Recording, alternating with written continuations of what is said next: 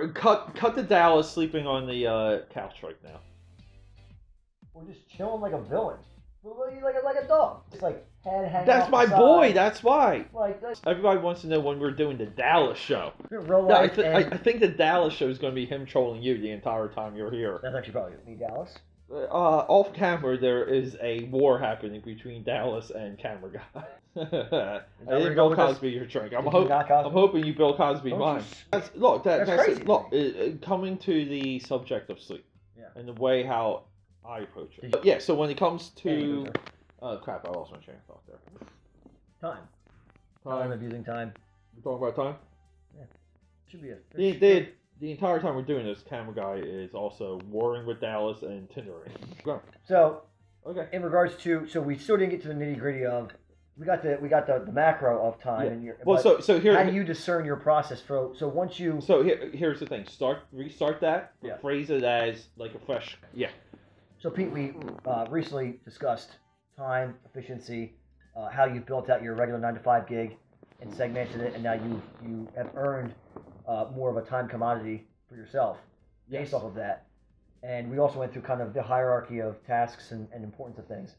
So looking at that and getting a little bit more into the, the nitty gritty of it, when you're looking at your content that this is part of, obviously, how do you put a priority on the, the content that you're currently doing between your sketchbooks, Ah, the video logs, Yes. the podcasts, your drawing time? Like, how do you what? How do you know when? Okay, this can get pushed off, or this has to get done. I have to get this out now. yeah. So a, lot. so a lot of it is where I'm like inspired, what I want to jump into, or if I have to get something out of my head, and if I have a vision for how I feel like something should look and end up, and they'll motivate me to to to lock myself down, not move until it's done. Just consistency in general, but there's no, you don't have a steadfast rule in regards to like every Monday, you know, Monday night I have to publish something for the podcast, or every Wednesday I have to have a drawing sketch. yeah for we're Instagram we're, we're evolving I, I mean because you know you're part like we're Yeah. all evolving towards more of a lockdown regular schedule for Yeah. releases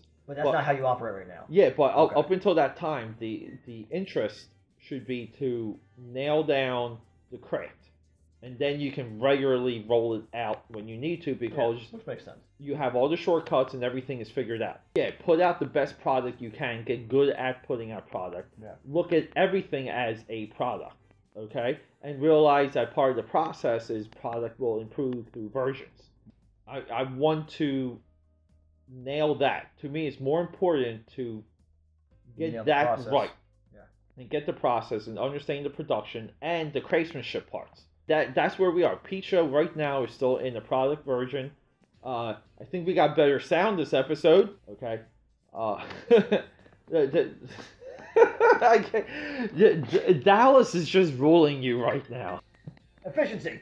It's time Cam- efficiency. he's drinking, warring with Dallas on Tinder. This is, and he's also he's doing this. yeah. Just- We're in efficiency of time right now. We are witnessing if the that's not the best of time. conglomerate of time efficiency, I don't even know what it is. Uh, yeah, I'm not. Nor do if, I want if, to. if you're going to share your time between uh multiple ta- like multiple things, Yeah. let that be warring with the cat, Tindering, drinking, and shooting a podcast. and YouTubing. Yeah.